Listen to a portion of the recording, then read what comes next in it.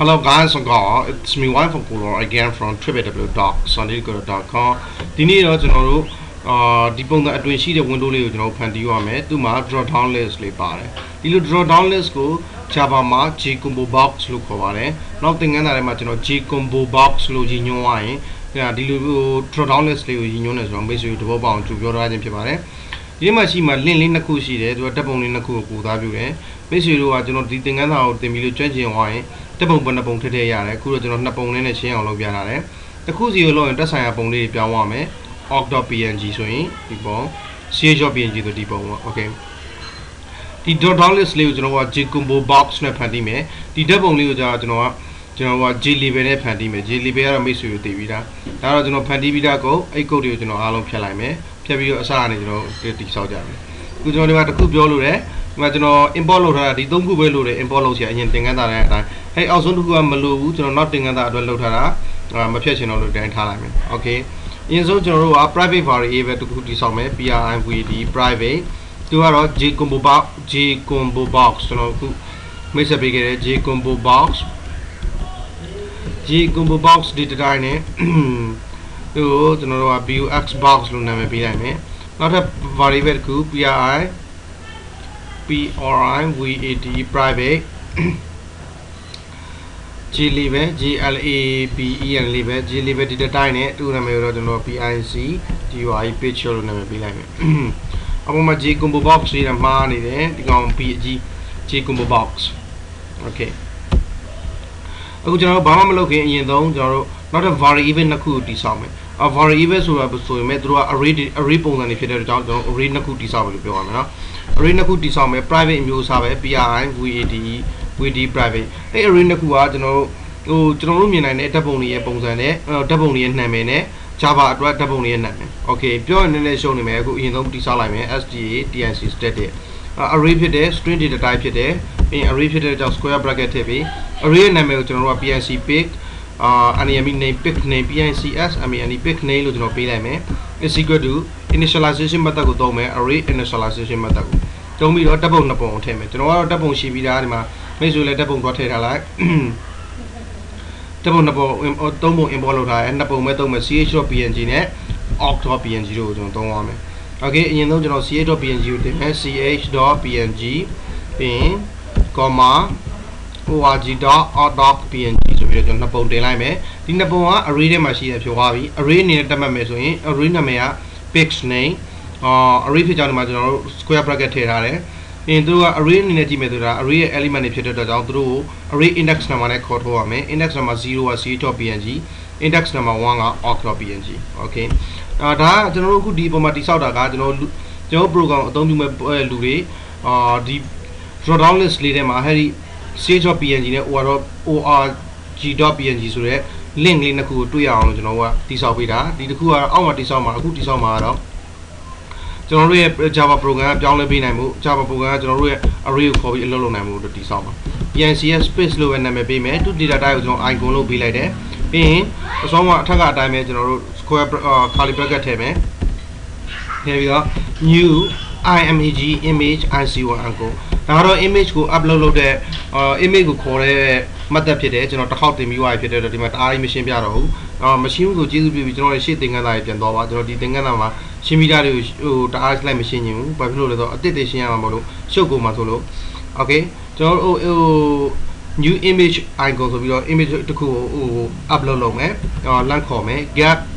crss class get class open close parenthesis dot gd get RESOU RESO RESOU RCE resort get resort get resort ထဲမှာတော့ကျွန်တော်တို့ထည့်ခြင်းတဲ့ဓာတ်ပုံနဲ့နာမည်ကိုထည့်ပေးလိုက်အောင်နေမယ် အဲ့ဓာတ်ပုံကဘာဓာတ်ပုံလဲကျွန်တော်တို့ပထမတစ်ခုက ca.png ဒုတိယတစ်ခုက org.png ကျွန်တော်တို့ဓာတ်ပုံရဲ့နာမည်ကိုဓာတ်ရရေးလို့ရတယ်ဒါပေမဲ့မရေးတော့ဘူးဘာဖြစ်လို့လဲကျွန်တော်တို့ array တိစောက်ပြီးသားအဲ့တော့ array နာမည်နဲ့ခေါ်သုံးမယ်အာ array က fix name လူက array index 0ကျွန်တော်ပထမဓာတ်ပုံကိုထည့်မှာဖြစ်တဲ့အတွက် array index 0ကိုထည့်လိုက်မယ်ပြီးရင်နောက်မှာ comma ခံမယ်ပထမတုံတင်ပြီးသွားရင်တော့ကျွန်တော်ဒုတိယတုံထပ်တင်မယ်ဒုတိယတုံလည်းဒီတိုင်းပဲအဲ့ဒါခောက်ချလိုက်မယ်မိတ်ဆွေတို့ရှင်းအောင်လို့ဟိုစာကြောင်းနောက်ထိတွားရင်မိတ်ဆွေတို့မရှင်းမဲနေလိမ့်မယ် အာဒုတိယပုံတော့ကအာ index number 1ဖြစ်လိမ့်မယ် okay ကျွန်တော်အပေါ်မှာတင်အာအပေါ်မှာတိဆောက်ခဲ့တဲ့ကျွန်တော်တိဆောက်ခဲ့တဲ့ pix name ဆိုတဲ့ array ထဲမှာဓာတ်ပုံနှစ်ပုံပါတယ် ch.png ကဟအာ index number 0 org.png က index number 1ဒါကြောင့်မလို့ကျွန်တော်ကဒီမှာ index number 0ကို import လုပ်တယ် index number 1ကိုလည်း import လုပ်တယ်အားလုံးပြီးသွားရင်ကျွန်တော်တို့ window တစ်ခုစတင်တည်ဆောက်မယ် PUBRC public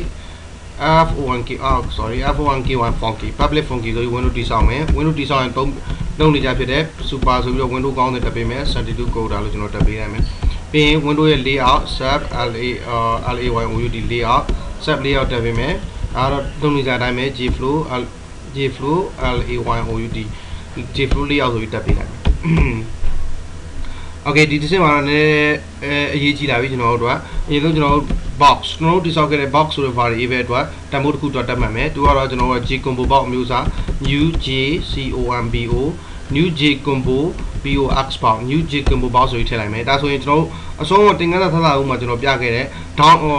drop down list လေးကြာလာပြီအဲ့ drop down list လေးထဲမှာပါမဲ့ list တွေကိုကျွန်တော်တို့ထည့်မယ်ပါမဲ့ list ကတော့ကျွန်တော်တို့ ch.png နဲ့အပေါ်မှာရေးထားတဲ့ ch.png နဲ့ org.png တို့ပါမယ်ဒါပေမဲ့သူတို့နာမည်တွေကိုတိုက်ရိုက်မရေးဘဲနဲ့သူတို့ရဲ့ကျွန်တော်က array ကိုပဲရေးလိုက်မယ်ဒါဆိုရင်သူတို့နာမည်တွေရေးထည့်တာနဲ့အတူတူပဲ okay array ကိုရေးလိုက်မယ်ဆိုရင် pncs pic enemy name pic name ဆိုတဲ့ array ကိုရေးလိုက်မယ်อืม array နာမည်ကိုရေးလိုက်မယ်ဒါဆိုရင်ဒီတက်ပုံနှစ်ပုံဝင်သွားမယ်ပြောချင်တာကဗျာအခု pic name. pic name လို့ရေးတာဗာနဲ့အတူတူပဲလေ pic name တူထဲမှာတူလောင်ထားတဲ့ array တက်မိုးတွေဖြစ်တဲ့ ch.png နဲ့ org.png တို့ကိုရေးတာနဲ့အတူတူပဲဒါပေမဲ့သူတို့ကိုကျွန်တော်ရှင်းနေလို့မရေးတော့ဘူးမိတ်ဆွေလည်းအကျင့်ကောင်းရအောင်မရေးနေတော့ pic name လို့ပဲထည့်လိုက်သူတို့ရဲ့ array နာမည်ကိုနောက်တစ်ဆင့်မှာတော့ကျွန်တော်အဲ့ box ကို item listener ထည့်မယ် addr id ရဲ့ item lisdn ရဲ့ listener item listener ထည့်မယ်ဒီမှာကျွန်တော်တို့လက်ကွက်ပါလာပြီဘာလက်ကွက်လဲဆိုတော့အရင်သင်ခန်းစာတွေရလို့ကျွန်တော်တို့ class တစ်ခုကိုတည်တံ့ဖန်တီးပြီးတော့အလုံးမလုပ်တော့ဘူးအခုဒီထဲမှာကျွန်တော်တို့ anonymous method လို့ခေါ်တယ် anonymous နည်းကိုသုံးပြီးအလုပ်လုပ်မယ်ဒီအတွက်ကြောင့်ကျွန်တော်တို့ဒီမှာအဲ့ item listener ထည့်ထားတဲ့ box မှာပဲအာ box ရဲ့ကွင်းစာကွင်းပိတ်ထဲမှာကျွန်တော် parameter ထည့်မဲ့ကွင်းစာကွင်းပိတ်ထဲမှာအာ method တစ်ခုထည့်ပါမယ်အရင်ဆုံးကျွန်တော်တို့သုံးပြမှာ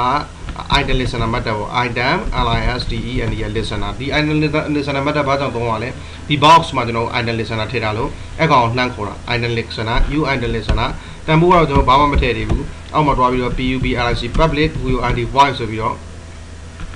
အာ method တစ်ခုတည်ဆောက်မယ်အဲ item listener နဲ့အမြဲတမ်းတွဲပြီးအလုပ်လုပ်မဲ့ method ကတော့ item state chain ပါပဲ item state chain ဆိုတဲ့ method ဖြစ်တယ်ဒါကြောင့်မို့ကျွန်တော်တို့က id ရဲ့ item state state changed chain chamge chain sorry item state chain ဆိုတဲ့ method ကိုသုံးမယ်သူထဲမှာပါမှာ idm item ev ev end event ဒီမှာ event ဆိုတဲ့ variable တိစောက်ပြီးလိုက်ပြီးရင်နောက်တစ်ဆင့်သွားမယ်ဒီအဆင့်မှာတော့ကျွန်တော်တို့ item listener လည်းတိစောက်ပြီးသွားပြီ item listener အတွက် item listener ကိုပြောင်းပေးမယ် အဲ method ကိုလည်းတိဆောက်ပြီးသွားပြီပြောင်းမယ်ဆို override လုပ်ပေးမှာပေါ့ override လုပ်ပေးမယ် method ကဒီတစ်မျိုးပဲသုံးလို့ရတယ် channel မျိုးတွေမိတ်ဆွေသုံးလို့မရဘူးနောက်တစ်ခုကမိတ်ဆွေတို့စိတ်ကြိုက်တွေတီထွင်နေလို့မရဘူးဒါကျွန်တော်တို့ Java ကိုသုံးနေတာ Java မှာသတ်မှတ်ထားတဲ့ method ကိုကျွန်တော်တို့သုံးလို့ရမယ်အဲတော့ဘာလုပ်ရမလဲနောက်ဆုံးအလွတ်ဖြစ်အလွတ်တဘောပေါအောင်တခြားမှတ်ထားရမယ်ပြီးရင်ကျွန်တော်ကတကယ်လို့များ public point item state chain ဆိုတာက event ကိုရခဲ့မယ်ဆိုရင်ဒီ event ဘယ်ရရမှာလဲကျွန်တော်တို့ဒီ box လေးကိုလာပြီးပြည့်တက်က box လေးမှာတစ်ခုခုရွေးချယ်မယ်တစ်ခုခုထိမယ်ဒါဆိုရင်အဲ့ဒီ event ရမယ်အဲ့ event ရမယ်ဆိုရင်ကျွန်တော်တို့က statement တစ်ခုတည်ဆောက်မယ် if အကယ်၍များ i uh, event event sorry event event dot get i uh, state state chain event dot get state chain ဆိုတာအဲ့ဒီ event ရခဲ့တဲ့ event state chain လေးက is equal to ဖြစ်နေခဲ့မယ်ဆိုရင် idm ident event event ident event ev uh ident event dot select is selected okay အဲ့ဒီရခဲ့တဲ့ event လေးက state chain ပြောင်းလဲနေတဲ့တခုခုဖြစ်နေမယ်ဒီ box လေးပေါ်မှာကျွန်တော်တို့သိမယ်ရှိမယ် box လေးထဲမှာရှိမယ်ဓာတ်ပုံလေးနှစ်ပုံပေါ့အဲ့ဓာတ်ပုံနဲ့ဓာတ်ပုံလေးနှစ်ပုံရဲ့ link ch.png နဲ့ org.png အဲ့နှစ်ခုပေါ်မှာပြောင်းလဲမှုတစ်ခုဖြစ်လိမ့်မယ်အဲ့ပြောင်းလဲမှုကဘာဖြစ်နေရမလဲအာ item selected တခုခုကို select မှတ်လိုက်တာဖြစ်နေခဲ့မယ်ဆိုရင်ကျွန်တော်တို့လုပ်ပေးမယ်အလုပ်က PIC DUI picture picture ဆို variable ကိုခေါ်တယ်မတိဆောက် variable တမိုးမတက်မဲ့ရတယ်ဒါပေမဲ့ကျွန်တော်တိဆောက်ပြီးွားပြီ picture ဆို variable ကိုခေါ်တယ်ပြီးတော့ dot set set ic1 icon picture dot set icon ဆိုပြီးကျွန်တော်အဲ့ picture မှာ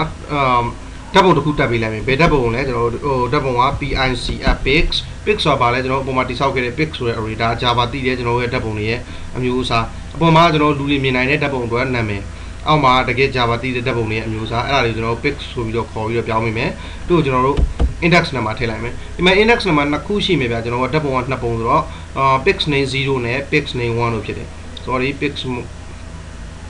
pix name 0နဲ့ pix name 1 pix name 0ကိုထည့်မလား pix name 1ကိုထည့်မလားဆိုကျွန်တော်တို့အသေးသတ်မှတ်ထားလို့မရဘူး။ဘာကြောင့်လဲပြိတ္တကနှိပ်ချင်တဲ့တပ်ပုံကိုနှိပ်မှာဒီအတွက်ကျွန်တော်တို့ပြိတ္တနှိပ်ချင်တဲ့တပ်တပ်တပ်ပုံကိုနှိပ်လိုက်အဲ့နှိပ်လိုက်တဲ့တပ်ပုံကိုကျွန်တော်တို့လှမ်းယူမယ်အဲ့တော့ box dot box ဆိုတာကျွန်တော်တို့ G combo box လေးတွေမှာ dot down list လေးတွေမှာရှိမယ်အဲ့ဒီတပ်ပုံနှစ်ပုံကိုနှိပ်မှာမလို့အဲ့ဒီ box လေးကဒီ pix name ဆိုတဲ့တပ်ပုံနှစ်ပုံကိုနှိပ်မှာမလို့အဲ့တော့ box dot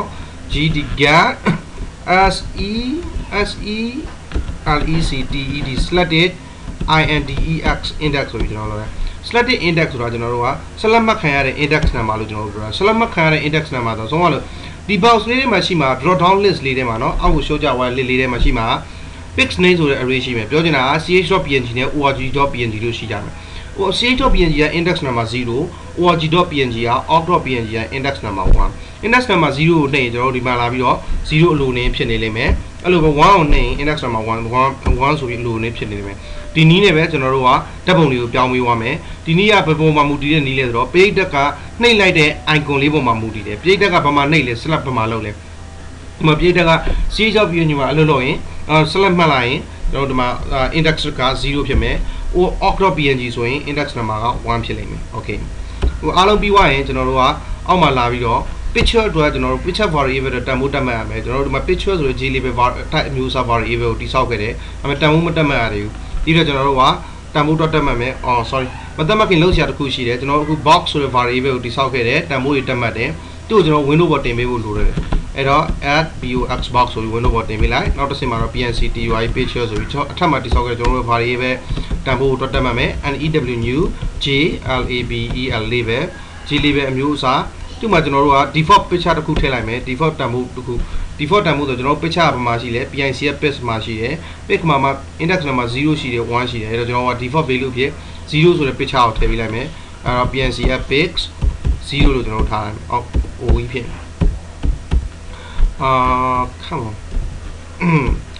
အာနောက်ဆုံးတစ်ဆင့်မှာတော့ကျွန်တော်တို့ကအဲ့ဒီအပေါ်မှာတိစောက်ခဲ့တဲ့ PIRCTURE ရဲ့ P I C T U R E picture picture picture အဲ့ဒီ picture ကိုကျွန်တော်တို့က window ပေါ်တင်ပေးမယ် PNC TUR picture ဆိုပြီးတော့ Okay အားလုံးပြီးသွားပြီဒီမှာကျွန်တော်ပြဿနာနည်းနည်းတက်နေတယ်ရှင်းလိုက်မယ်ခဏလေး နော်ပြဿနာက item state chain မှာ ed ပါတယ် item state chain မှာဒီမှာ d ထည့်ပြီးလိုက် ed ထည့်ပြီးလိုက် okay ဒါဆိုရင်အလုပ်အားလုံးဖြစ်သွားပြီ item state chain မှာ ed ပါတယ်ခဏကျွန်တော်အားလုံးကိုပြင်ရှင်းပြမယ်ကိုကျွန်တော် program လေးကိုတစ်ချက် run ကြည့်လိုက်မယ်အလုပ်ဖြစ်လာမယ်ဖြစ်လားဒီ main မှာတော့ကျွန်တော်အရင်သင်ခန်းစာမှာတာတိဆောက်ခဲ့တဲ့အတိုင်းပဲအော် G-frame ကိုအသုံးပြုပြီးတော့ကျွန်တော် window ကိုပိတ်မယ်ပိတ်ပြီးတော့ window site ကိုဖန်တီးမယ် window visibility ကိုဖန်တီးမယ်ပြီးရင်ကျွန်တော် run ကြည့်လိုက်မယ် run လိုက်ရင် program လေးအခြေအနေဘယ်လိုရှိလဲလို့ကြည့်မယ် okay လာပြီ program လေးက အာဒီနှိပ်လိုက်ရင် drop down list လေးကြာလာတယ် ch.png org.png ဒါဆိုရင်တပ်ပုံလေးတွေပြောင်းသွားမယ်ဒါကကျွန်တော်တို့ရဲ့ combo J combo box ဒါက J label J label J label ကကျတော့ကျွန်တော် pictures data ဒါဒီမှာကျွန်တော် picture လာပြောင်းထားတယ်အခုဒီမှာပြောင်းထားတဲ့ဟိုဆိုကြပါဆိုကျွန်တော်ကဒီမှာ item select လို့ပြောတာနော်အရင်ဆုံးကျွန်တော်တို့ကဒီမှာ ch.png ကို select လုပ်လိုက်တာ ਨੇ လိုနေဓာတ်ပုံပြောင်းသွားရင်ဘာကြောင့်လဲ c.png က index number 1ဖြစ်တယ်ဒါကြောင့်မလို့ဒီမှာကျွန်တော်တို့ဟို select index id ဆိုပြီးတော့ကျွန်တော်1ကိုနှိပ်လိုက်ရင် oh sorry 0ကိုနှိပ်လိုက်ရင်အပေါ်ကဒီမှာ0ဆိုတဲ့ picture ကိုကျွန်တော်ခေါ်ရမယ်0 picture က c.png ဖြစ်တယ်ဒါကြောင့်မလို့အာဓာတ်ပုံကိုကျွန်တော် c ဟိုအော် c.png ဓာတ်ပုံပြတာဘာကြောင့်လဲဆိုတော့ index number 0ဖြစ်နေလို့ okay org.png c.png okay ကျွန်တော်နည်းနည်းလေးတေချာအောင်ပြင်ရှင်းပြမယ်ကျွန်တော်ပထမဦးဆုံးကျွန်တော်တို့ဘာလုပ်လဲ J combo box ဆိုတဲ့ data type ကိုအသုံးပြုပြီးတော့ box ဆိုတဲ့ variable ကိုတိစောက်တယ်ပြီးတော့ကျွန်တော် J level data type ကိုအသုံးပြုပြီး picture ဆိုတဲ့ variable ကိုတိစောက်တယ်ကျွန်တော်အခုတိစောက်မှာက program လေးတစ်ခုအဲ့ဒီ program လေးမှာကျွန်တော်တို့ကဓာတ်ပုံပါမယ်အဲ့ဓာတ်ပုံလေးတွေကနှစ်ပုံပါပြီးတော့တစ်ပုံပဲပုံပုံမှန်အဖြစ်ပြနေမယ်အော်အဲ့ဒီဓာတ်ပုံလေးတွေကိုပြောင်းနေတယ်ဆိုရင်ကျွန်တော်တို့ကအာ စာရာ J combo box ဆိုတဲ့ drop down list လေးရှိတယ်အဲ့ drop down list တွေမှာပါတဲ့ဓာတ်ပုံနာမည်ကိုနှိပ်လိုက်ရင်သက်ဆိုင်ရာဓာတ်ပုံထွက်လာအောင်ကျွန်တော်လုပ်ပေးနေတယ်ဒါကြောင့်မလို့ကျွန်တော်ဟို drop down list လို့လို့ကျွန်တော်ပြောပြောနေတယ် J combo box လေးထဲမှာရှိမယ်စာရာလေးတွေကိုအရင်သွားဖန်တီးမယ်ပြောချင်တာကဒီစာရာလေးတွေကိုကျွန်တော်အရင်သွားဖန်တီးမှာအာဒီစာသားလေးတွေအခု drop down ကြလာတဲ့စာသားလေးဒီစာသားလေးတွေအရင်တော့ဖန်တီးမှာဒီတော့ကျွန်တော်ကစာသားဖန်တီးဖို့အတွက်အာပြည့်တဲ့မြင်နိုင်တဲ့စာသားဖန်တီးဖို့အတွက် array တစ်ခုတိစောက်လိုက်တယ် array ရဲ့နာမည်ကို pix name လို့တမ်းနာမည်ပေးပြီးတော့ကျွန်တော်တို့အသုံးပြုရမယ် picture နှစ်မျိုးရှိနှစ်မျိုးဖြစ်တဲ့ ch.png နဲ့ out.png ဆိုတဲ့အဲ့ဒီ picture နှစ်ခုရဲ့နာမည်ကိုကျွန်တော်ထည့်လိုက်တယ်ဓာတ်ပုံနှစ်ခုရဲ့နာမည်ကိုထည့်လိုက်တယ်ပြီးတော့ကျတော့ကျွန်တော်တို့ဒါကတော့ပြည့်တဲ့တွေမြင်နိုင်အောင်လုပ်ပေးတဲ့ဓာတ်ပုံနှစ်ခုရဲ့နာမည်ဒီဓာတ်ပုံနှစ်ခုရဲ့နာမည်ပေါ့ဒါပေမဲ့ Java အတွက်ကျတော့ကျွန်တော်တို့ပြည့်တဲ့တွေမမြင်နိုင်တဲ့ Java အတွက်ကျတော့နောက်ခံမှာကျွန်တော်တို့ဓာတ်ပုံထည့်ပေးထားမယ်တခါလဲအဲ့ဓာတ်ပုံလေးတွေကတက်ဆိုင်ရအာအဖို့တက်ဆိုင်ရ link ကိုနှိပ်လိုက်ရင်အဲ့ဓာတ်ပုံလေးတွေပြောင်းသွားမယ်အဲ့ဒီအတွက်ကျွန်တော်တို့က အာ private variable icon ဆိုပြီးတော့ pic ဆိုပြီးတော့ pic ဆိုတဲ့အဲ array တစ်ခုတိစောက်လိုက်တယ်အဲ့ array မှာကျွန်တော်တို့ဓာတ်ပုံနှစ်ပုံထည့်လိုက်တယ်ဓာတ်ပုံနှစ်ပုံကတော့ကျွန်တော်တို့ဟိုဓာတ်ပုံထည့်တဲ့ method ဖြစ်တဲ့ new image icon ဆိုတဲ့ method ကိုသုံးပြီးတော့ get class get result result ယူတဲ့အခါမှာကျွန်တော်တို့ကဘယ်က line ကိုလဲအပေါ်မှာတိစောက်ခဲ့တဲ့ array တွေကတန်ဖိုးတစ်ခုကို line ကိုလိုက်တယ်ယူတဲ့နေရာတော့ကျွန်တော်တို့ကတန်ဖိုးတွေကိုဓာတ်ရိုက်မေးချဘူးတကယ်ဆိုဒီနေရာမှာ chpng ရေးချလဲရတယ် ဒီနေရာမှာ out.png ရေးချလဲရတယ်ဒါပေမဲ့မရေးချတော့ဘူးဘာကြောင့်လဲ array ရှိပြီးတော့ဖြစ်တဲ့အတွက်လွယ်အောင်လို့ pix name index number 0နဲ့ pix name index number 1လို့ရေးချတယ် index number 0က c.png ဖြစ်ပြီးတော့ index number 1က out.png ဖြစ်တယ်နောက်တစ်ဆင့်မှာတော့ကျွန်တော်တို့ funky ဆိုတဲ့ဘက်အဲ class constructor တစ်ခုတိစောက်တယ်သူမှာ window ပါမယ် window ကောင်းစဉ်နဲ့ window layout ဒီခါထဲထည့်နေကြဖြစ်တဲ့တော့ကျွန်တော်မရှင်းပြတော့ဘူးเนาะ နောက်တစ်ဆင့်ကျတော့ကျွန်တော်ပုံမှန်တိစောက်ခဲ့တဲ့ jcombo box data type နဲ့ box ဆိုတဲ့ variable အတွက်တန်ဖိုးတက်မှတ်မယ်တန်ဖိုးတက်မှတ်ခြင်းတဲ့အတွက်ကြောင့် box is equal to new jcombo box ဆိုပြီးတော့ jcombo box ဆိုတဲ့ drop down list လေး hello list လေးကိုကျွန်တော်စတင်ဖန်တီးလိုက်တယ်အဲ့ဒီ list လေးထဲမှာဘာတွေပါမလဲ pix name ပါမယ်လို့ကျွန်တော်ပြောလိုက်တယ် pix name ကဘာလဲ array တခုသူ့ရဲ့တန်ဖိုးတွေကဘာလဲ c.png နဲ့ out.png အဲ့တော့သူ့ jcombo box ထဲမှာ pix name ထည့်လိုက်တဲ့အတွက်ကြောင့် c.png နဲ့အဲ့ဒီ out.png တို့ကကျွန်တော်တို့ရဲ့ window ပေါ်ကိုရောက်သွားတယ် window ပေါ်မှာမှာ drop down list လေးတွေကိုရောက်သွားတယ်ပေါ့နော်ပြီးရင်နောက်တစ်ဆင့်မှာကျွန်တော်တို့ဘာလုပ်လဲအထက်ကတိစောက်ခဲ့တဲ့ drop down list လေးကိုပဲကျွန်တော်တို့က item listener ထည့်လိုက်တယ် list drop down list လေးတွေမှာနှစ်ခုရှိတယ်ဗျာနော်အာ list နှစ်ခုရှိတယ် ch.png နဲ့ out.png တက်ဆိုင်ရာတစ်ခုကိုနှိပ်လိုက်ရင်ဓာတ်ပုံပြောင်းတော့အောင်လုပ်မယ်ဒီအတွက်ကျွန်တော်တို့က item listener ထည့်ရတယ်ဘယ်ပေါ်မှာလဲ ch.png နဲ့ out.png မှာ data တစ်ခုခုလုံးမှာကျွန်တော်တို့စောင့်နေတယ်ဘယ်သူကစောင့်နေလဲ item listener ကစောင့်နေတယ် ဘယ်ပေါ်မှာစောင့်နေလဲ out.png မှာလည်းတကယ်စောင့်နေတယ် c.png မှာလည်းစောင့်နေတယ်ဒီအတွက်ကျွန်တော်တို့ကဘာလုပ်လိုက်လဲ box at item listener ဆိုပြီးတော့ item listener ထည့်လိုက်တယ် box ထဲမှာပြီးတော့ item listener အတစ်ကိုတိစောက်ပြီးတော့ကျွန်တော်ဒါ anonymous နည်းလို့ခေါ်ပါတယ် new item listener ဆိုပြီး item listener အတစ်ကိုတိစောက်တယ်အပေါ်က item listener method သုံးတာအတွက်ကြောင့် item listener ကိုတိစောက်တာဒီလို new item listener တိစောက်တာ class class အတစ်တိစောက်တာနဲ့အတူတူပဲအားလုံးကို implement လုပ်ပြီးသားပဲတခါလဲဘယ်ကတန်ဖိုးတွေကို implement လုပ်လဲဒီ item listener တန်ဖိုးတွေကို implement လုပ်တယ်လုပ်ထားတဲ့အတွက်ကြောင့်ဒီမှာ ကြိုက်တယ်လို့ခေါ်သုံးလို့ရတယ်ပေါ့ဗျာ item listener တန်ဖိုးတွေကို okay ခေါ်တော့လို့ရတယ်နောက်တစ်ခုကလောက်ရမယ့်အဓိကအချက်ကကျွန်တော်အရင်သင်ခန်းစာမှာရှင်းပြခဲ့လို့ပဲ override လုပ်ပေးရမယ်တန်ဖိုးတွေကိုပြန်ပြောင်းပေးရမယ်ဒီတော့ကျွန်တော်တို့ add item listener ထည့်လိုက်တယ်ပြီး item listener ထဲမှာမှာကျွန်တော်တို့ဟိုမတ်တက်တစ်ခုတိဆောက်လိုက်တယ်မတ်တက်ကအာဟိုကျွန်တော်စိတ်တိုက်တိဆောက်လို့မရဘူးဒီမတ်တက်ဆိုဒီမတ်တက်ပဲတော့ရမယ် item state chain ဆို item state chain ပဲတော့ရမယ်တခြားနာမည်တွေလာထည့်လို့မရဘူးဘာကြောင့်လဲဒီမတ်တက်တစ်ခုလေးရတာလင်း Java မှာ item listener ကိုလာပြီးတော့ override လုပ်နိုင်တယ်လို့ကျွန်တော်တို့က Java တီထွင်ထားလို့အဲ့တော့အဲ့ဒီ item listener ကို override လုပ်ခြင်းကျွန်တော်တို့သုံးမဲ့ method က item state chain ဆိုတဲ့ method ပြီးရင်ဝန်ဆောင်ခွင့်ပေးတဲ့မှာကျွန်တော်တို့ item event event ဆိုပြီးကျွန်တော်ရေးလိုက်တယ်။ဘာ item event ဆိုတာကျွန်တော်တို့က item listener ကနေပြီးတော့တစ်ခုခုဖြစ်ပြီးတော့အလုပ်လုပ်ဖြစ်လာရင်ဘုတို့လမ်းပြီးတော့ဒရင်နှပ်ပေးမလဲ item event ကိုဟိုဒရင်နှပ်ပေးမယ်ဆိုကြပါစို့ဒီမှာ Jcombo box လေးထဲမှာ org.png ကိုပြတဲ့ click တစ်ချက်နှိပ်ပြီးဆိုရင်နှိပ်လိုက်တာနဲ့ကျွန်တော်ရဲ့ item listener ကကျွန်တော်တို့ရဲ့အာ item event ကိုလာပြီးတော့တရင်လှမ်းပေးမယ်ဒါဆိုရင် item event က heady event ဆိုတဲ့ variable နဲ့လှမ်းဖမ်းယူမယ်ပေးတဲ့တရင်ကိုအဲ့ဒီပေးလာတဲ့တရင်ဖြစ်တဲ့ event ဆိုတာက get state change အခြေအနေပြောင်းလဲမှုတစ်ခုဖြစ်တာဖြစ်နေခဲ့မယ်အဲ့ဒီပြောင်းလဲမှုဟာလည်းကျွန်တော်တို့ play ပြိတက်က list လေးမှာဆက်လက်မှတ်လိုက်တာဖြစ်နေခဲ့မယ်ဆိုရင်ပြောချင်တာပြောင်းလဲမှုကအခြေအနေတစ်ခုဖြစ်နေလိမ့်မယ်အဲ့ဒီအခြေအနေကလည်းဘာလဲလဲအော်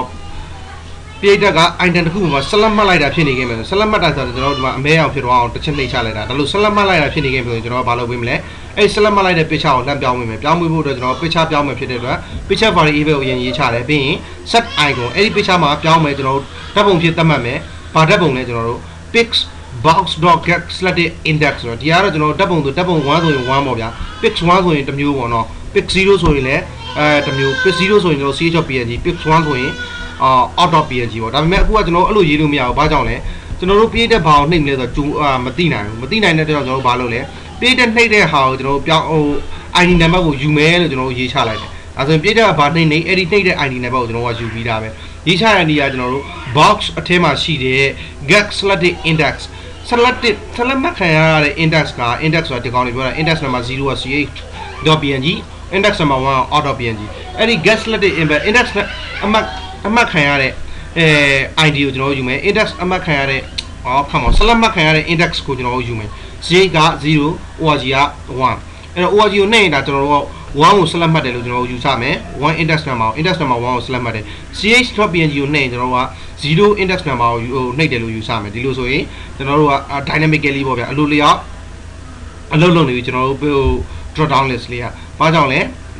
idle listener ကိုထည့်တယ် ထည့်ပြီးတော့ idle listener တခုခုနှိပ်တယ်နဲ့ပြေးတက်ကိုလာပြီးတော့နှိပ်ခံရပြီးတော့ပြေးတက်ကတခုခုနှိပ်လိုက်တယ်ကျွန်တော်တို့ program ကိုလာပြီးတော့နှိပ်ခံရပြီးတော့တည်ပေးမယ်တည်ပေးတဲ့အခါမှာ event ဆိုအဲ variable တွေကိုတန်ဖိုးလှမ်းလွှဲပေးမယ်အဲ့လှမ်းလွှဲပေးတဲ့တန်ဖိုးကပြေးတက်ခလုံးဆက်လက်မှတ်ခဲ့တာဆိုရင်ကျွန်တော်ကအလုပ်စလုပ်ပေးမယ်ဘယ်လိုအလုပ်လုပ်မလဲ picture ပြောင်းဓာတ်ပုံပြောင်းမယ်ဓာတ်ပုံဘယ်ဘယ်ပုံမှာမူတည်ပြောင်းပါလဲပြေးတက်နှိပ်လိုက်တဲ့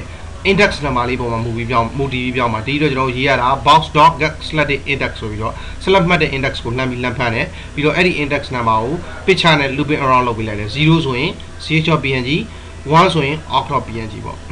နောက်တစ်ဆင့်မှာကျွန်တော်တို့တိစောက်ခဲ့တဲ့ box လေးကို window ပေါ်ကိုတင်တယ်နောက်တစ်ဆင့်မှာ picture ဆိုတဲ့ variable ဟိုအပေါ်မှာတိစောက်ခဲ့တဲ့ picture ဆိုတဲ့ g level data data type အမျိုးအစား variable ကိုတန်ဖိုးတက်မှတ်တယ်တန်ဖိုးတက်မှတ်တဲ့အခါမှာကျွန်တော်တို့ကအရင် default value အဖြစ် PIC ရဲ့ pit 0လို့ကျွန်တော်တို့ဟို pit internet မှာ0ကိုခေါ်ရတယ်ဒါကြောင့်မလို့ကျွန်တော်တို့ program လေးကိုဆက်စ run ခြင်းမှာ pit 0ဖြစ်တဲ့ ch.png ကဓာတ်ပုံလေးကိုမြင်နေရမယ်ဒီဓာတ်ပုံလေးကိုမြင်နေရမယ်ပေါ့နော်ပြီးရင်ကျွန်တော်အဲ့ဒီ picture ကိုပဲ window ပေါ်တင်လိုက်တယ် add picture ဆိုပြီး window ပေါ်တင်လိုက်တယ်ဒါပဲဗျ program လေးကတိတ်မခတ်ပါဘူးနားမလည်တာရှိရင်ကျွန်တော်မေးနိုင်ပါတယ်အာမတ်တက်တော့နည်းနည်းပြောင်းလိုက်တယ်ကျွန်တော်အသုံးပြုတဲ့မတ်တက်ဒါပေမဲ့မိတ်ဆွေတို့အချိန်ချင်းလေ့လာကြည့်ဟဲ့ဒီမတ်တက်လေးရတယ်မိတ်ဆွေတို့လွယ်သွားမှာ anonymous မတ်တက်လို့ခေါ်ပါတယ်ဒါလေးကကျွန်တော်တို့အရင်လို new class တွေတိစောက်စရာမလိုဘူး object ကိုတဆင့်ခံပြီးတော့ object ကနေအေး action event ကိုသွားပြီးတော့ item event တို့ action event တို့ကိုသွားပြီးတင်းပေးကြရမလို့ဘူးတိုက်ရိုက်ကျွန်တော်တို့ anonymous အဖြစ်တိစောက်ပြီးတော့အဖြစ်ထုတ်လိုက်တာကျေးဇူးအများကြီးတင်ပါတယ်